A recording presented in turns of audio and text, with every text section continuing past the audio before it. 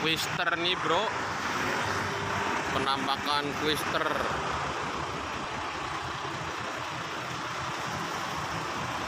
Om, tuan oh. om.